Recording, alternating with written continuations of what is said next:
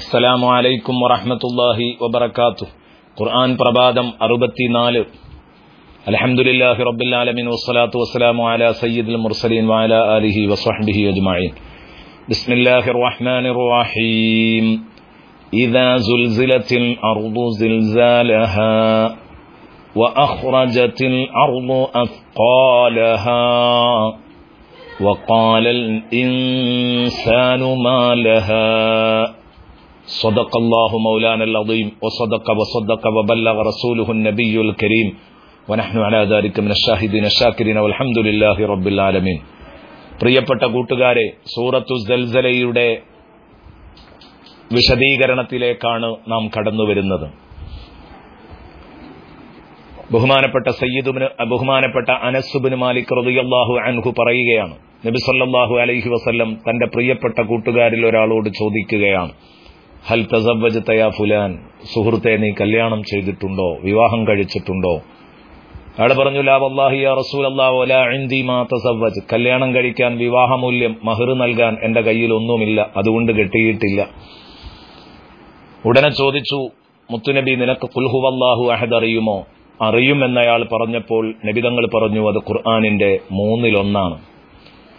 വീണ്ടും ചോദിച്ചു ഇദാജ അനസുറുല്ലാഹി വൽ ഫതഹി എന്ന അധ്യായം അറിയുമോ? അറിയുമെന്ന് പറഞ്ഞപ്പോൾ തിരുനബിയുടെ മറുപടി അത് ഖുർആാനിന്റെ നാലിലൊന്നാണ്. വീണ്ടും ചോദിച്ചു കുല്യായുഹൽ കാഫിറൂൻ അറിയുമോ? അതും നബിതങ്ങൾ പറഞ്ഞു ഖുർആാനിന്റെ നാലിലൊന്നാണ്. വീണ്ടും ചോദിച്ചു ഇതാ സുൽസിലെത്തി അറിയാമോ? അതിനും അയാൾ പറഞ്ഞു അറിയാം നബിയെ. അപ്പോഴും പറഞ്ഞു അത് ഖുർആാനിന്റെ നാലിലൊന്നാണ്. എന്നിട്ട് നബി പറഞ്ഞു ഈ അർത്ഥത്തിൽ ഖുർആൻ മുഴുവനും നിനക്കറിയാമെന്ന് വേണമെങ്കിൽ പറയാമല്ലോ. അതുകൊണ്ട് ഈ നാല് അധ്യായങ്ങൾ നിന്റെ ഭാര്യയ്ക്ക് പഠിപ്പിച്ചു കൊടുക്കുക. അത് മഹറായിട്ട് തസവജ് നീ കല്യാണം കഴിക്കണമെന്ന് ഹബീബായ റസൂലുല്ലാഹി സൊല്ലാഹു അലൈഹി വസല്ലമ തങ്ങൾ പറഞ്ഞെങ്കിൽ സൂറത്തു സൽസല ഖുർആാനിന്റെ നാലിലൊന്നാണ് എന്ന് മനസ്സിലാക്കുമ്പോൾ ഇതിന്റെ മഹത്വം നമുക്ക് ഉൾക്കൊള്ളാൻ പറ്റുന്നതാണ്. ഏതാവട്ടെ ഇതാ സുൽസിലത്തിൽ ഭൂമി കുലുങ്ങിയാൽ ഭൂമിയെ വിറപ്പിക്കപ്പെട്ടാൽ സിൽസാലഹ ഭൂകമ്പം എന്ന് പറയുന്ന ഭൂമിക്കുലുക്കം എന്ന് പറഞ്ഞ കുലുക്കം കുലുങ്ങിയാൽ ഭൂമിയെ കിടുകിട വിറപ്പിക്കപ്പെട്ടാൽ എന്ന് മാത്രമല്ല അതിന്റെ അർത്ഥം. അങ്ങനെയാണെങ്കിൽ ഇതാ സുൽസിലത്തിൽ അർലു സിൽസാല എന്ന് പറഞ്ഞാൽ മതിയായിരുന്നു. സിൽസാല എന്ന്. സിൽസാലഹ എന്ന് പറഞ്ഞാൽ സിൽസാലുൽ അർൾ എന്ന് പറയുന്ന കുലുക്കം കുലുങ്ങിയാൽ. അതായത് ഭൂമി കുലുക്കം എന്ന കുലുക്കം കുലുങ്ങിയാൽ. ഇമാം നസഫി റതി അള്ളാഹു അൻഹു അതിന് അർത്ഥം കൊടുക്കുന്നു. ഐ ഇദാ ലൈ അല്ലദീ സിൽസാൽ. ശേഷം ഒരു കുലുക്കം ഇല്ലാത്ത അതിന്റെ ശേഷം മറ്റൊരു കുലുക്കം ഉണ്ടാവൂല. ഫൈനൽ കുലുക്കം അത് കുലുങ്ങിക്കഴിഞ്ഞാൽ എന്നാണ് ഇമാം നസഫി തങ്ങൾ അതിനർത്ഥം കൊടുത്തത്. എന്ന് പറഞ്ഞാൽ ഇന്നുവരെ ലോകം കണ്ട ചെറുതും വലുതുമായ അതെത്ര ഭീകരമായ ഭൂകമ്പങ്ങളാവട്ടെ അതൊക്കെ തമാശയുടെ കുലുക്കങ്ങൾ മാത്രമാണ്. തമാശയുടെ കുലുക്കങ്ങൾ മാത്രമാണ്. കാര്യത്തിലൊരു കുലുക്കം കുലുങ്ങാനുണ്ട് അത് ലോകം ഇന്നുവരെ കണ്ടിട്ടില്ല കാണാൻ പോകുന്നതാണ്. എത്ര ഗൗരവമുണ്ടായിരിക്കും അത്? ഇതാ സുൽസിലത്തിൽ അർദു സിൽസാലഹ. വിശുദ്ധ ഖുർആൻ സൂറത്തുൽ ഇൻഷിഖാക്കിൽ അള്ളാഹു പറയുന്നുണ്ട് ആ സർവലോക നാശത്തിനു വേണ്ടിയുള്ള കുലുക്കം നടക്കുന്നതിന്റെ തൊട്ടുമുമ്പിലായി ആകാശങ്ങൾ പൊളിഞ്ഞു വീഴും ഇതസമ ആകാശം പൊട്ടിക്കീറി വീഴുമ്പോൾ ആകാശം പൊട്ടിക്കീറി വീഴുകയോ ആകാശം വളരെ ഭദ്രതയിൽ പടക്കപ്പെട്ടതല്ലേ? ഖുർആൻ പറയുന്നു അതിനത്തിൽ റബ്ബിഹ വഹുക്കത്ത് ആകാശം അതിന്റെ റബ്ബിന്റെ മെസ്സേജിന് സന്ദേശത്തിന് വേണ്ടി കാതോർത്ത് നിൽക്കുകയാണ്. അതിന എന്ന് പറഞ്ഞാൽ സമ്മതിച്ചു എന്നും കാതോർത്തു എന്നും അർത്ഥമുണ്ട് ഉദുന് എന്ന് പറഞ്ഞാൽ ചെവി കാത് എന്നാണ്. അതിന എന്ന് പറഞ്ഞാൽ കാതോർത്തു എന്നൊരർത്ഥമുണ്ട്. അപ്പോ ആകാശം ഇങ്ങനെ കാതോർത്ത് നിൽക്കുകയാണ്. എപ്പോഴാണ് പൊട്ടിക്കീറി വീടാൻ പറയുന്നത്? അപ്പോൾ പൊട്ടിക്കീറി വീടാൻ വഹുക്കത്ത് അങ്ങനെ കാതോർത്ത് നിൽക്കാൻ ആകാശം എല്ലാ അർത്ഥത്തിലും ബാധ്യതയുള്ളവളാണ്. ഭൂമിയെ പരത്തപ്പെട്ടു കഴിഞ്ഞാൽ. നാളെ പരലോകത്ത് ഭൂമി നീട്ടി പരത്തപ്പെടുന്ന ഒരു നേരം വരുന്നുണ്ട്. ബിൽഡിങ്ങുകളില്ല വളവില്ല തിരിവില്ല കുന്നില്ല ഇറക്കമില്ല. എല്ലാം സമനിരപ്പായ ഒരു ഭൂമി. സമുദ്രങ്ങളില്ല എല്ലാം കത്തിക്കപ്പെട്ട് കഴിഞ്ഞിട്ടുണ്ടാവും. എന്നിട്ട്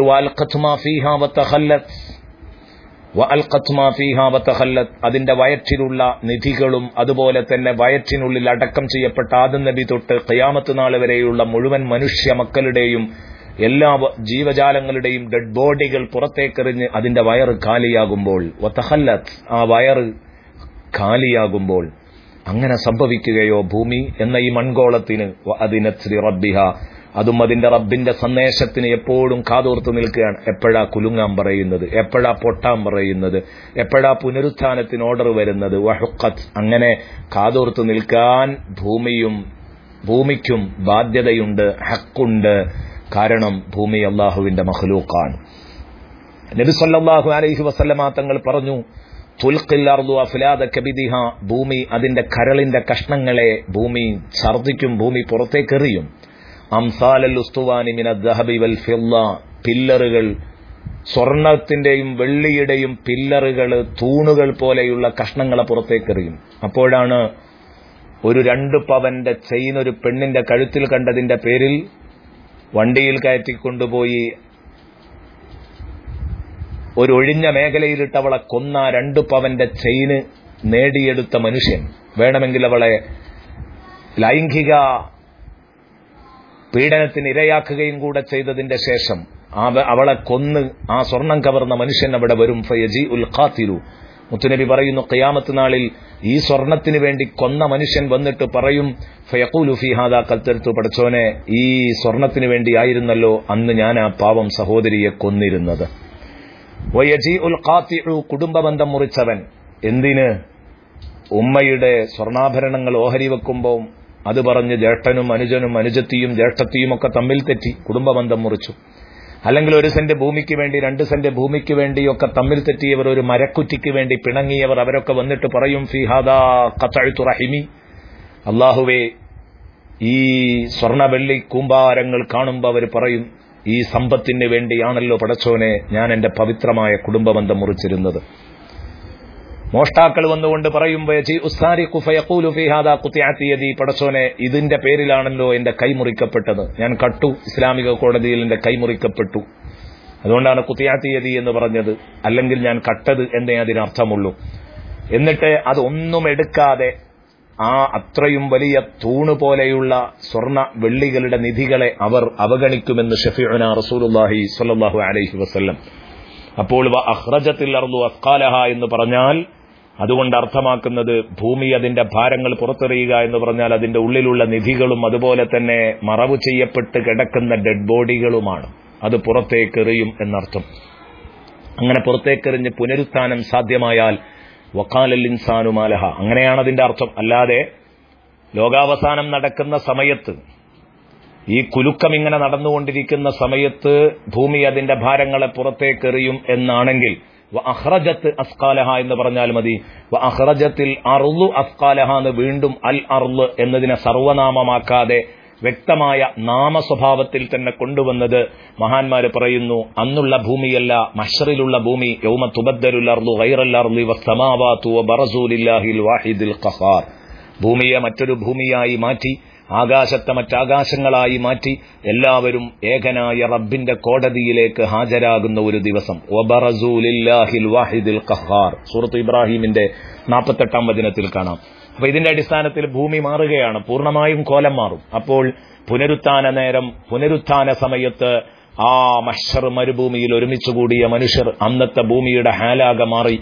അപ്പോൾ അവർ ചോദിക്കുകയാണ് വക്കാലൽ ഇൻസാനു? മനുഷ്യരായ മനുഷ്യരൊക്കെ പറയും മാലഹ മാലഹ എന്തു പറ്റിപ്പോയി ഭൂമിക്ക്? എന്തു പറ്റിപ്പോയി ഭൂമിക്ക്? എന്ന് ചോദിക്കുന്ന ഒരു നിമിഷം വരുന്നുണ്ട്.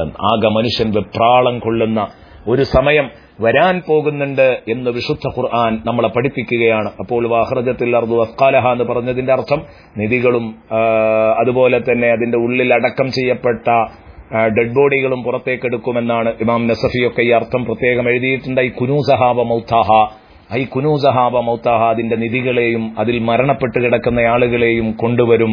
അങ്ങനെ എല്ലാ മനുഷ്യരും അവർ ഇതിൽ വിഭ്രാന്തി പൂണ്ടുകൊണ്ട് അവർ ചോദിക്കും എന്തു പറ്റിപ്പോയി ഈ ഭൂമിക്ക്? എന്ന് ചോദിക്കും ഇത് മനുഷ്യൻ വിശ്വാസി മാത്രമാണോ അതോ അവിശ്വാസി ചോദിക്കുമോ?